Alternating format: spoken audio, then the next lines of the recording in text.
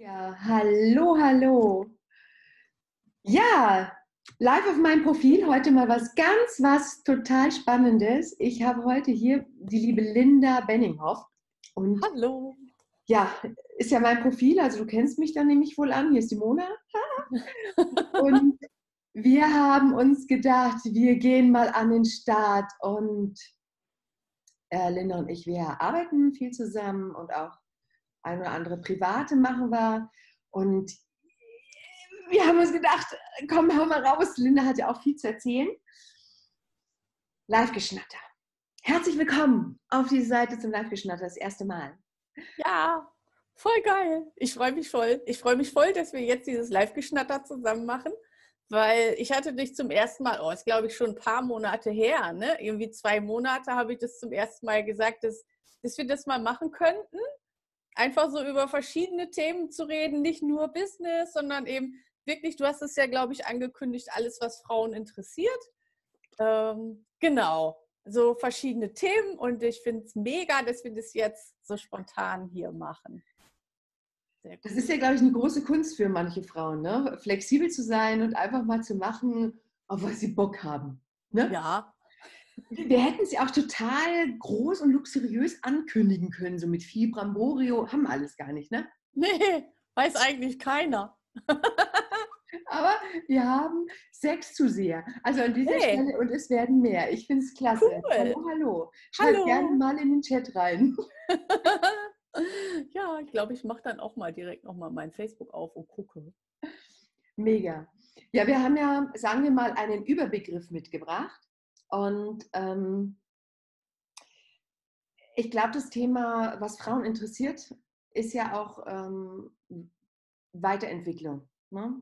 Ich, ich merke das ja. Und ich möchte mal kurz Linda vorstellen, für diejenigen, die Linda nicht kennen. Also ich kenne Linda, weil ich eben über Manomind mit ihr zusammenarbeite, unter anderem. Und sie, Linda ist ja ein, du bist ja ein Genie darin zum Thema Facebook. Ne? Alles, was so ähm, damit zusammenhängt auch. Ne? Du hast eine mega große, geniale eigene Gruppe gehabt. Du bist jetzt auch gerade am Umswitchen, wo du sagst, du, du machst gerade Feintuning. Ich, ich finde es ja mega. Ne? Kann man auch alles kompliziert machen. ja, kann man auch alles kompliziert machen, genau. Wir machen das heute nicht kompliziert. War da jetzt schon eine Frage? Nee, da war noch keine Frage. Gut, dann warte ich noch. Ich warte dann einfach mal. Ja, ja, ja, ja. Ich, ich natürlich habe ich eine Frage. Ne? Wir kamen zwar mit dem Thema heute hier rein ins Rennen. Und zwar, ähm, du hast ja, seit ich dich jetzt kenne, ähm, eine wahnsinnige Weiterentwicklung gemacht. Also ich erinnere mich an die ersten äh, Talks, die wir hatten, also unsere, unsere Business-Gespräche, die wir hatten und dann natürlich auch kurz privat natürlich und das, was so dir am Herzen liegt. Und da hast du ja auch ähm, echt riesige Schritte gemacht. Warum hast du denn für dich damals angefangen? Und das ist ja sicherlich nicht erst drei Jahre her, du machst ja schon viel, viel länger was. Aber mh, hm, warum ist dir denn das Thema für dich so wichtig? Das Thema Weiterbildung meinst ja, du? Weiterentwicklung. Das Weiterentwicklung. Mhm. Ähm, ich glaube, dass, äh, also ich habe sogar vorhin noch, also heute gerade vor einer halben Stunde, habe ich mir noch ein, bei Facebook gibt es ja immer diese Erinnerungsposts, das warst du vor zwei Jahren und so. Und da habe ich, also ich mache jetzt, Weiterbildung mache ich noch nicht so ewig lange. Das mache ich erst, seitdem ich meinen Blog gegründet habe, also seit fünf Jahren. Ähm, und angefangen hat das damit, dass ich halt mehr erreichen wollte, als ich zu dem Moment erreicht habe. Ich hatte halt, ich wollte gerne was erreichen und ich habe gemerkt, okay, alleine funktioniert sie irgendwie nicht äh, keine Ahnung, ich habe mich abgestrampelt und abgestrampelt, aber es ist nichts passiert. Und da habe ich dann halt angefangen, mir Hilfe von außen zu holen. Und ich habe mir gerade eben noch ein Video angeguckt von vor zwei Jahren. Da war ich bei Tony Robbins in Florida bei Unleash Your Power Within.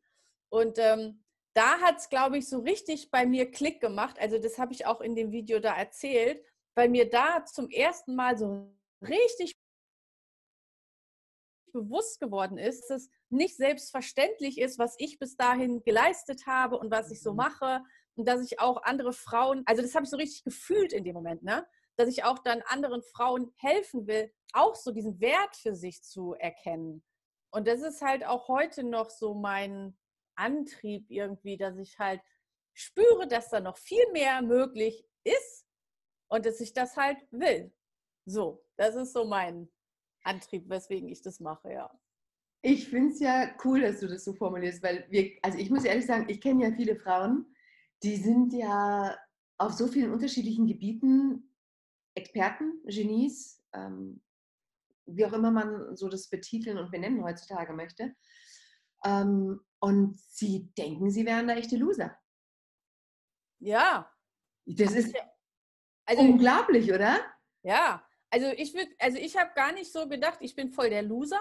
Für mich war es einfach selbstverständlich, weißt du? Das, was ich mhm. mache, ist halt so. Dass das irgendwie gut ist oder cool oder mega oder was, das war mir halt bis vor zwei Jahren gar nicht so bewusst. War dir das schon immer bewusst? Ich muss ehrlich gestehen, dass ähm, als ich so den großen Switch gemacht habe und raus aus dem Familienunternehmen bin, hatte ich wirklich eine Zeit, wo ich mir gedacht habe, ich, ich, ich kann nichts. Ne? Ich war immer die Tochter vom Chef und ich musste mich dadurch natürlich, hatte ich das Gefühl, ich habe immer doppelt so viel anstrengen und rödeln. Und ich habe für mich festgestellt, ähm, ich hatte ein ganz, ganz kleines Selbstwertgefühl. Obwohl ich zig an Kurse und Ausbildungen hatte. Ich habe alles gemacht und getan und trotzdem war ich irgendwie so gefühltmäßig so klein mit Hut. Und egal, wer mir irgendwie ähm, vielleicht mal auch Widerworte gegeben hat, da habe ich sofort irgendwie gedacht, oh Gott, es stimmt was mit mir nicht. Ähm, ich, ich, ich habe ich hab mich nicht gut vorbereitet. Ich bin, ähm, da hätte ich wohl ein bisschen mehr wissen müssen. Es, ich muss ehrlich gestehen, es gibt auch heutzutage noch Momente, wo ich mir denke, hm, da hättest du dich mal besser vorbereiten können. Hm. Gibt es auch heute noch. Wäre gelogen aber nicht mehr so stark, wo ich sage, dieser Gedanke nimmt mich dann raus und lässt mich dann so in meiner Energie nach unten ziehen. Ja. Das ist ja der große Unterschied. Ne? Wenn, ja. wenn die Frauen heutzutage dann anfangen, an sich zu, oh, ich kann das nicht, ich, ich weiß nicht, ja, dann fangen sie an, total sich klein zu machen, oder kommen die auch die meisten nicht raus. Mhm. Das, ist, mhm. das kostet ja auch viel Energie dann. Ja. Finde ich toll, ne? Bist dann sozusagen auf dem Wege, ähm, und du hast ja schon verrückte Kurse gemacht. Hm. Ja, ein bisschen. Und ich, ich finde es ja total klasse. Ne? Man, ich hätte es ja nie zugetraut. Zu ja. den einen oder anderen Kurs hätte ich mir gedacht, nee, die Linda, nee, die kommt aus dem hohen Norden, die sind ganz, ganz brave, ganz, äh, weißt du, Schublade auf, Linda rein, Schublade ja, zu. Da kommt die Linda ums Eck mit, keine Ahnung, wo du schon überall warst. Peru, coole Geschichten gemacht. Nee, Peru war ich noch nicht. Hallo, so. da gehst du erst hin. Nee, wo war das in zwei Jahren? Wo vor zwei Jahren? Florida. Hm. hm. Ja. Also da denke ja. ich, ja, mega. Ja, so wie es sagt, ne? das ist, das ist, das ist zum Thema, äh, zum Thema Weiterentwicklung. Ne? Dieses Schubladendenken ist ja auch so fatal. Ich, ich glaube, deswegen fangen auch die Frauen an, so viele Kurse zu machen, weil sie irgendwie in jede Schublade rein wollen. Hä? Wie meinst du das? Verstehe ich hm. jetzt nicht. Also, ja, Mona halt, ne? Jetzt geht's los. Ich bin ja, ähm, ich bin ja nicht so ein großer Freund von Schubladendenken, ne? Viele, viele Menschen haben ja Angst davor, in eine Schublade gesteckt zu werden. Weil in dieser einen Schublade, da denkt man, okay, da ist nur sichtbar, was ich so jetzt hier drin kann in dieser Schublade. Mhm. Und deswegen fangen so viele Frauen an, also ne, das denke ich mir, ähm, so viel zu tun, so viele unterschiedliche Dinge, damit sie in so viele Schubladen reinpassen. Also ah. als Beispiel, ähm, wenn ich zum Beispiel irgendwo hingehe auf Veranstaltungen, da kann ich irgendwie zu gefühlt jedem Thema irgendwas so im normalen Leben sagen. Mhm. Ob es jetzt ähm, Heirat ist, ob es Scheidung ist, ob es Haus bauen ist, Haus verkaufen, Kinder alleine großziehen, Kinder gemeinsam groß. Also irgendwie gefühlt alles Business aufbauen, Business, äh, keine Ahnung. Und, und sowas meine ich halt, ne? Ja. Ja. Und das muss man ja auch heute gar nicht mehr. Ja, das kann schon sein. Das äh, kann ich mir. Nee, ist ja, ist ja auch eigentlich Quatsch, ne? Eigentlich ist es ja gut, gerade wenn man selbstständig ist, dass man in, in der Schublade drin ist, dass die Leute auch wirklich wissen, ähm, für was du stehst. Und ja. ja. wo du der Ansprechpartner bist.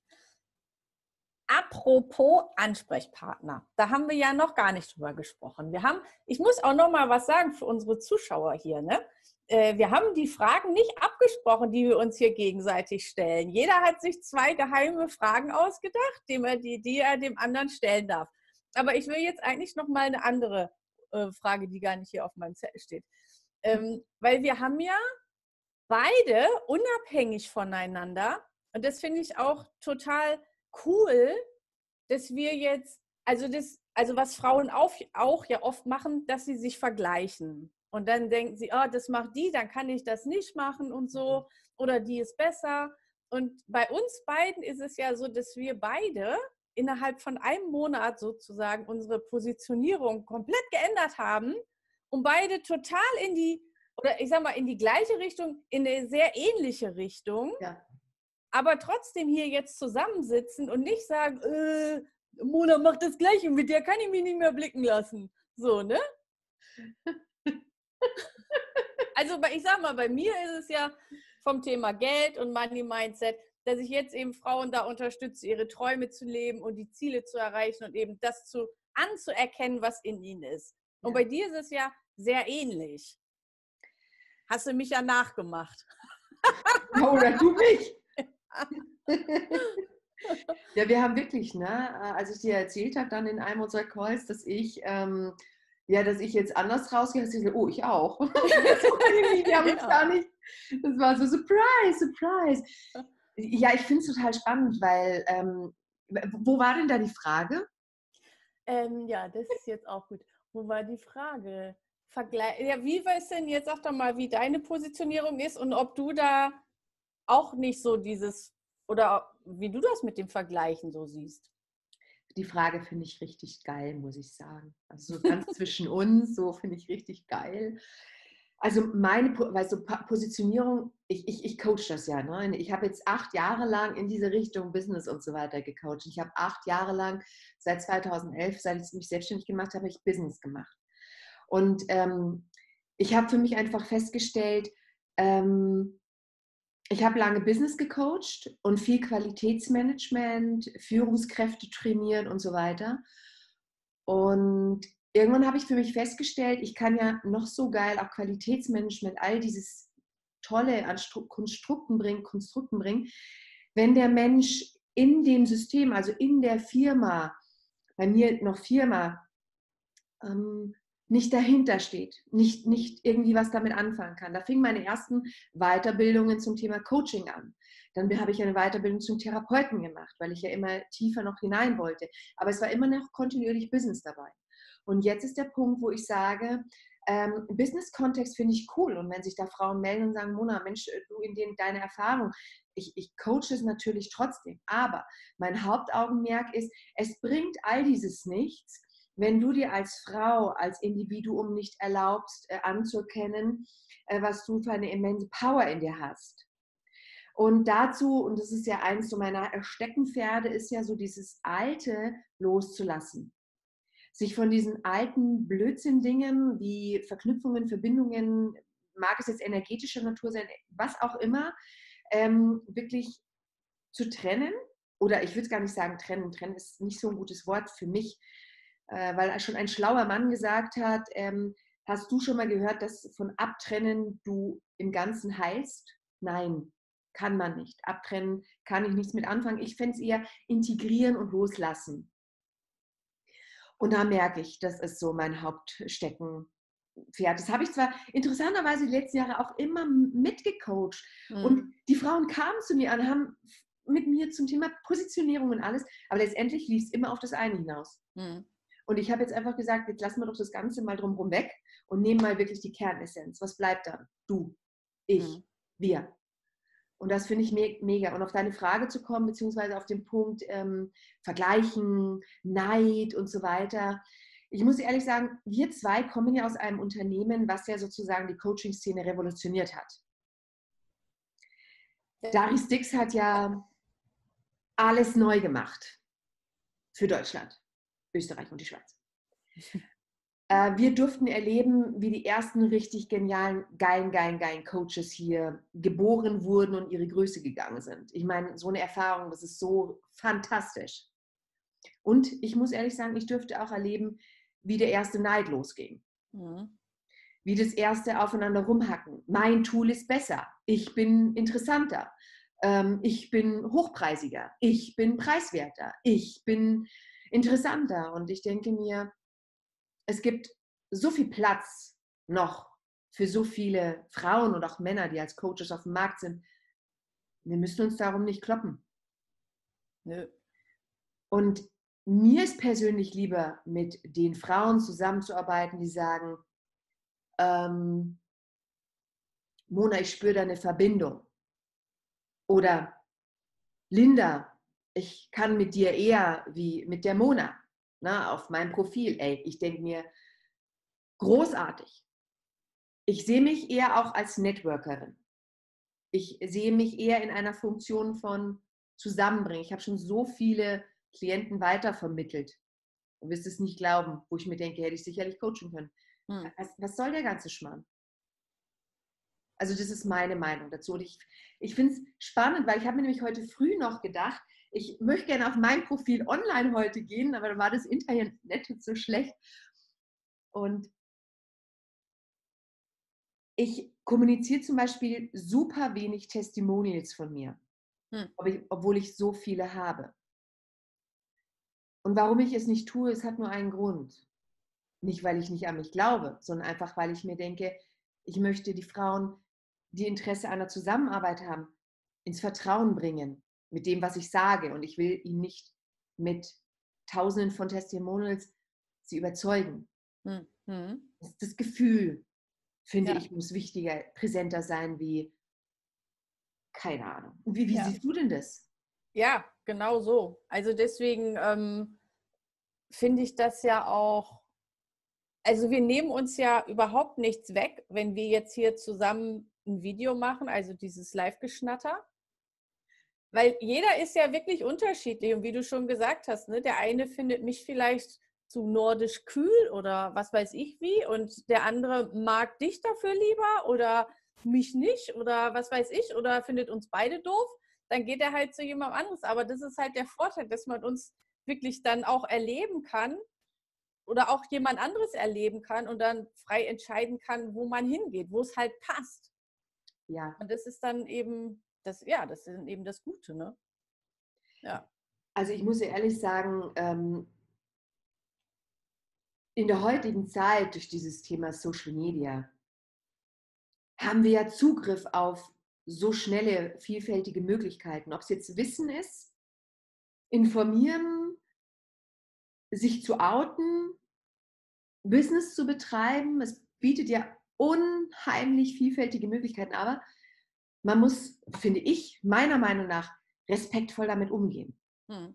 Und ähm, deswegen dulde ich zum Beispiel bei mir in meinem Freundeskreis auch hier nur Menschen, die wohlwollend oder wertschätzend miteinander umgehen. Also ich habe auch wirklich jegliche, die, und das hat auch nichts damit zu tun, nichts zu dulden. Aber ich denke mir, wenn jemand Pisslaune hat, dann kann er woanders hingehen.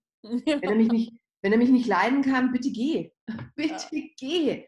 Und das ist zum Beispiel ein Punkt, ich meine, da muss ich doch mit gutem Beispiel vorangehen. Ich möchte doch den Frauen an die Hand geben, dass, dass du es nicht allen recht machen musst, oder? Ja, ja, auf jeden Fall. Und da sind wir natürlich, ich finde dich gar nicht nordisch kühl. Man könnte es meinen. ja. Aber du bist es gar nicht. Nein. Da werden wir wieder beim Schubladen denken. Aber weißt du, das habe ich, also mittlerweile lässt es nach. Aber deshalb, also ich bin jetzt, wie alt bin ich? 47. Ich habe das bestimmt oh, bis vor drei Jahren immer gehört, wenn mich jemand kennengelernt hat und dann hat er mich kennengelernt, hat er immer gesagt, oh, ich dachte ja immer, du bist so arrogant. Aber das sagt man bei meiner Mutter auch. Oh, die ist ja, denkt ja jeder, ist so arrogant. Ja. So, aber ist dann auch okay. Ich habe mir immer gesagt, naja gut, wer mich kennenlernen will, lernt mich trotzdem kennen. Hat auch funktioniert. yes. Ja. Ja. Das Internet hakt ein bisschen. Also ja, es geht schon. Nee, bisher war es perfekt. Gut, darf ich noch mal eine von meinen Fragen stellen? Von meinen? Sehr gerne. Okay, ganz anderes Thema. Mich würde interessieren, weil du hältst ja immer so schön, du hast so tolle bunte Trinkgläser aus Phantasialand und weiß weiß ich, wo du immer hingehst. Was trinkst du eigentlich immer so tagsüber? Interessanterweise, also, oh Gott, was für eine crazy Chicken-Frage. Also ja, bei mir hat es stark geändert, sich geändert über die letzten Jahre, als ich mich auch weiterentwickelt habe. Vielleicht ist das so, deswegen hat es mich interessiert. Ja. Ähm, also ich schaue, dass ich ab und zu Wasser trinke. Aha. Aber am meisten liebe ich meine Tees. Ja, ist ja auch gut. Ja, also ich mache mir in der Früh immer gleich hier so eineinhalb, äh, ein Liter, eineinhalb Liter Wasser, äh, Tee. Tee.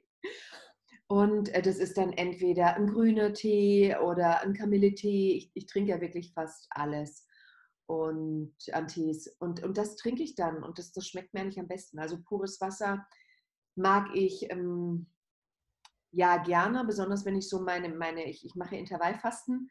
Wenn ich dann so in dieser Phase drin bin, wenn ich weiß, okay, dann ist es auch okay, aber so tagsüber normal, ich habe gern Geschmack im Mund. Mhm. Ja. Aber Tee ist doch auch gut, ist doch auch gesund. Mega. Also ja. finde ich auch. Äh, falls ja. mal irgendjemand auf mich zukommt und sagt, Mona, ich würde meine Tee weglassen, weil de, deine, weiß ich nicht, die Zähne oder sowas dunkler werden, dann nehme ich das als Anlass. ich glaube, bei Grüntee oder Kamille ist da keine Gefahr. Ich weiß auch nicht. Vielleicht kriegen wir da unten drunter Kommentare. Das bin ich recht. Herrn. Ist gut. Aber ich finde das sehr lustig, weil ich trinke auch nicht gerne Wasser. Und ich, äh, ich trinke gerne Wasser, wenn es so 30 Grad draußen ist, sonst bin ich gar kein Wassertrinker. Und ich trinke auch immer Tee. Mega, ja. ja. Also ich trinke im Moment Pfefferminztee, Ingwertee und Chai-Tee. Das sind so meine drei Teesorten, mit denen ich mich durch den Tag trinke. das ist ja cool. Aber du hast recht, ich habe immer irgendwie so Kindertassen. Also ich weiß nicht, ob man das erkennen kann. Das ist eine Tasse mit Cars. Ah. Und ja, Ach, ja, sieht man. ich, ich, ich, liebe ja also so Kindertassen. Nicht, dass ich, dass ich meinen Kindern was wegnehme, sondern einfach, ich liebe dieses, dieses Kindliche. Mhm. Und ich schaue auch wirklich, dass ich das lebe. Ja. In meiner, in meinen Möglichkeiten. Ja. Aber äh, ja, sehr aufmerksam. Ja, habe ich hm. lustige Gläser. Ja, ich habe auch noch eine Frage so an dich. So. Huh. ja, ja. Bist du neugierig? Ja. Das erzähl. ähm, was war dein schlimmster Albtraum? Uh, jetzt ein echter Traum? Ja. Ach du Scheiße. Okay, das ist echt privat jetzt. Also oh. meinst du Traum? Traum? Sexorgie oder sowas. Ach so, das wird jetzt von Facebook wieder geschnitten oder so. Ein Traum, ja, so zum Schlafen. Er ist echt privat. Okay, dann den zweitschlimmsten. Es gibt nur einen Albtraum. Ach so, okay. äh, was ist? Oh, jetzt wird interessant. Gut, gut. Kann ich vielleicht in einem halben Jahr drüber reden. Okay, alles klar. Dann, ähm, was ist der Gedanke, wenn du abends ins Bett gehst, ne? dich in dein mhm. Bettchen kuschelst und du dir denkst, geiler Tag gewesen. Was ist zumeist der letzte Gedanke, bevor du dahin schlummerst? der letzte Gedanke? Das ist, finde ich, eine gute Frage. Ähm der letzte Gedanke. Also spontan ist mir jetzt gerade eingefallen, dass ich mich oft darüber freue, dass ich mir vor zwei Jahren ungefähr Schlafschuhe zu Weihnachten gewünscht habe. Und ich freue mich einfach, wenn ich abends im Bett liege, dass ich so schön warme Füße habe. Weil ich weißt du, das sind so Kleinigkeiten, das habe ich vorher nie gemacht, so richtig schöne, tagsüber so richtig Wollsocken anzuziehen, dass meine Füße warm sind oder nachts Schlafschuhe anzuziehen. Aber das genieße ich so mega, dass ich warme Füße habe. So, da freue ich mich dann oft drüber. ja. Ich finde ich jetzt cool, weil ich habe eine neue Technik dahingehend entwickelt für mich. Ah, erzähl. Ähm, ich komme ja aus Bayern. Bei mir ist München ums Eck und da gibt es ja zweimal im Jahr das Tollwood. Das ist so ein alternatives Festival. Und ähm, da gibt es wunderbare Stände, auch so alternativ. Und äh, einer hatte so wundervolle längliche Dinkelkissen. So ah. längliche. Ja. So ganz schmal. Und äh, ah. zum Warmmachen, das habe ich mir mitgenommen.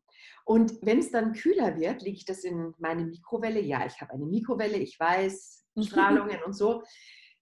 Und ich habe über viele Jahre mir immer die Füße gewärmt. Mir wurde es aber nicht so warm. Ah. Jetzt lege ich es mir so ganz kurz über den oberen Bauch. Und da wird mir, da ist mir viel wärmer. Da könnten auch die Füße kalt sein.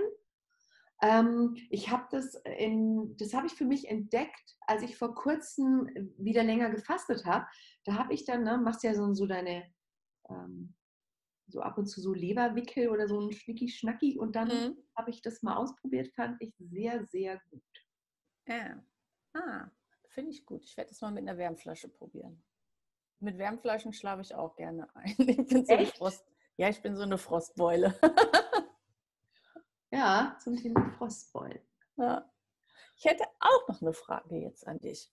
Noch eine? Noch eine, genau. Boah. Und zwar, ähm, wir, genau, wir arbeiten jetzt ja schon ein paar Jährchen zusammen und du bist, also was ich ähm, so bei dir, was sich so bei dir so verändert hat in deinem Coachleben, so wie ich das wahrnehme, ist ja, dass du seit einem Jahr oder so auch eigene Seminare und Workshops gibst. Ne? Und da habe ich mich gefragt, was mich interessiert, was es für dich bedeutet, mhm. so ein Seminar zu geben. Ähm, also ich arbeite ja online und live. Und beides hat seine Vorteile und natürlich auch beides seine Nachteile. Ich liebe diese Live-Arbeit, weil da die Energie so direkt vor Ort, wenn ich auf der Bühne stehe, viel stärker zu transportieren ist. Da kann auch, und ich, wie gesagt, ich liebe Online-Coachen, aber so mal noch live dazu ist nochmal ein Ticken intensiver möglich. Mhm. Online bietet natürlich Flexibilität. Ja, wenn, wenn mich äh, Frauen aus Frankfurt oder Hamburg kontaktieren und sagen, ich kann nur abends oder in der Früh und so weiter, dann findet man immer Möglichkeiten, damit man äh, der Klientin Möglichkeiten bietet. Also äh, Chancen bietet für den nächsten Step. Hm. Aber für mich ist es live, ähm, wird es immer präsenter. Ich habe mich mal zeitlang Speaker genannt, aber ich sehe mich gar nicht als Speaker ich glaube, das habe ich abgelegt, das äh, sehe ich gar nicht mehr so, so im Fokus, sondern dieses, dieses Coachen und als Trainer wirklich in seiner Liebe sein Bestes zu geben. Das, das, das finde ich cool. Also ja, es ist mir wichtig. Sehr. Hm. Wie fühlst du dich dann, wenn du so, also ich meine jetzt gar nicht so auf der Bühne stehen und vor 100 Leuten reden, sondern so in so einem kleineren Rahmen? Also was für ein Gefühl ist das für dich? Ich muss ganz ehrlich sagen, es ist sowas wie, ähm, klingt jetzt ein bisschen crazy, äh, Familie. Hm. Mhm. Ich habe die ersten Jahre habe ich Business gemacht, weil ich Geld verdienen musste. Ich habe mir das eingeredet, du musst Geld verdienen. Natürlich, wir brauchen Geld. Jetzt sehe ich es eher so in Richtung, das, was ich tue, das, was ich zu bieten habe an Fähigkeiten, bietet die Möglichkeit, sich zu connecten, zu verbinden. Mhm. Und das geht natürlich live intensiver. Andere würden sagen online, ich finde live, dafür habe ich jetzt schon zu viel gesehen. Und ich habe das auch gespürt, ähm, als ich letztes Jahr, ich glaube letztes Jahr war es, als ich mein allererstes Retreat in, äh, in Frankreich gemacht habe mit den Teilnehmern, da ist so unglaublich viel möglich einfach. Ne? Wenn du wirklich an, an der Frau arbeitest, an, der, an den Menschen arbeitest, wenn du wirklich an den Themen arbeitest, du wirklich an den Körper rangehen kannst, du wirklich spüren kannst. Natürlich kannst du das auch online. Aber ich merke, durch auch dieses ganze Social-Media-Thema, wir verwahrlosen so ein Stück weit. Ne? Menschlich verwahrlosen wir, muss ich ganz ehrlich sagen. Dieses Persönliche, dieses Direkte, dieses Anfassen geht verloren. Mhm. Und ich, ich merke auch in meinen Herz-zu-Herz-Coachings, Gesprächen, jetzt gibt es ja von mir Magic Days, die man unterschiedlich für sich ähm, wirklich konfigurieren kann, um für sich zu gucken, was passt für mich. Das läuft alles nur auf eins hinaus sich selbst wieder zu spüren und wieder in Kontakt mit der Umwelt richtig, richtig intensiv gehen zu können. Ja. Hm. Willst du nochmal sagen, wann dein Magic Day stattfindet? Ähm, also dieser Magic Day, der findet ja schon wirklich sehr zeitnah statt, schon nächstes Wochenende. Also wer daran Interesse hat, live in Hamburg zu sein, darf sich gerne melden. Das wird jetzt, wie gesagt, am, ich glaube, der 23. November sein. Für alle diejenigen, die die Aufzeichnung und der 23. schon rum, no panic. Ähm, wie gesagt, ich arbeite auch wirklich online und der nächste Termin, der wird, ich weiß nicht, wann der stattfindet. Der, der findet so individuell statt, was ich anbiete, ist eben das Thema Magic Day mit einer, also ich gehe da eins zu eins rein. Ich bin einer der wenigen Coaches momentan auf dem Markt, die wirklich eins zu eins arbeiten. Weil es mir einfach wichtig ist. Mhm. Also geht gerne auf meine Webseite. Wer mich kennt, monaschön.com, da findest du die Informationen zum Magic Day und dann machst du das, was für dich richtig sich anfühlt. Ich habe auch eine wundervolle Frau, die, die für ein Gespräch da ist. Hau raus. Ja. Ja. Aber jetzt mal genug von mir, weil äh, wir sind ja auch hier zu zweit. Liebe Linda, äh, wo ist denn momentan für dich dein Fokus? Wo, du hast ja gesagt, du hast ja auch deine Positionierung verändert. Und ich weiß ja auch, dass du deine Blog, deine Blogbeiträge bist du gerade beim Anpassen. Und wobei oder mit, mit, mit was begleitest du denn aufs nächste, ich will gar nicht sagen aufs nächste Level. Nee, das mag ich auch nicht. Nee, ist nicht die richtige Wahl. Nee. Den nächsten Schritt. Der nächste Schritt ist cool. Ja, ja, ja, Level ist für mich zu ehrgeizig. Also das ist nicht das, was ich ja. machen möchte. Also mir geht es wirklich darum, das ist ja auch das, was so meine Entwicklung in den letzten Jahren, dass man wirklich so an seine Ziele glaubt und seine Träume auch erstmal wahrnimmt. Das ist ja der erste Schritt, ne? dass man sich traut, überhaupt zu träumen ja. und dann so seine Ziele setzt und dann nicht weil die Ziele dann auf einmal vielleicht groß erscheinen oder zu groß oder es kommen dann Schwierigkeiten und dass man dann sagt, ach, vielleicht das Universum will gar nicht, dass ich das erreiche oder so. Ähm, sondern dass man dann wirklich oder die Frau dann wirklich, ja, das, das macht und sich traut und, und dafür einsteht. Also das ist das, was ich halt jetzt hauptsächlich mache. Vorher war es das Money Mindset, da war das Thema aber schon immer auch zu mindestens 50 Prozent für mich drin. Und jetzt ist es halt 100 Prozent geworden. Und da merke ich einfach, dass das mir viel mehr Spaß macht und viel mehr Fülle bringt. Und das ist einfach, ja, viel sinnvoller oder sinnstiftender für mich jetzt. Ja.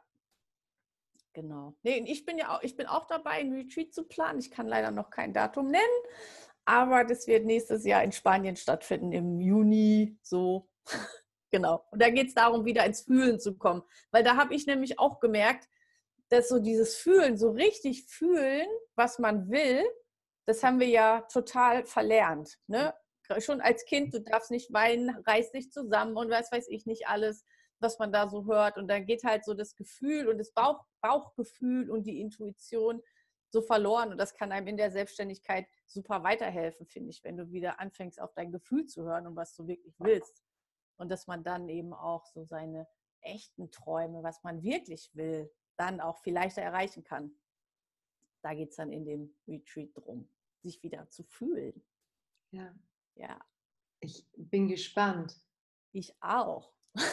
Das ist ja auch mein, mein großes Ziel. Das hatte ich ja schon vor als ich den Blog gestartet habe, vor fünf Jahren, habe ich gesagt, ich will mal einen Retreat machen, aber ich habe mich halt nie getraut. ne? So, mhm. genau. Jetzt ist halt der Zeitpunkt. Jetzt fühlt sich super gut an, das zu machen. Endlich das zu machen. Ja. Boah. Ja, es wird Zeit ähm, für jeden, für jede von uns. Hm.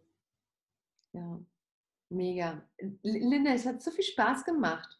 Ja, ich fand es auch super. Ich finde, wir sollten das, wir sollten unser Live-Geschnatter unbedingt wiederholen. Das machen wir. Das machen wir. Mega. Ja, also an dieser Stelle so schön, dass du live hier oder auch dir die Aufzeichnung jetzt ansiehst zu unserem ersten Geschnatter mit Linda und Mona. Ähm, Geschnatter ist ja nordisch, ähm, hat was Positives von alles dafür sein, keine Begrenzungen, keine Legitim Limitierung, nee. Limitierung. Limitierungen. Ich mhm. heute wieder mit Fremdwörtern noch.